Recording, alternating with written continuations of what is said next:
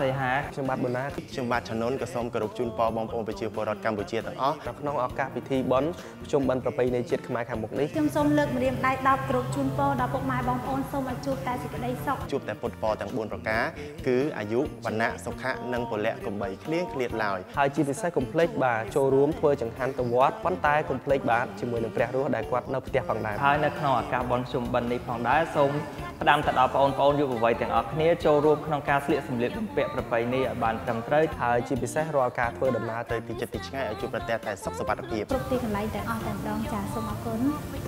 ចំណៃយកទៅលេងភ្ជុំប្រាថ្នា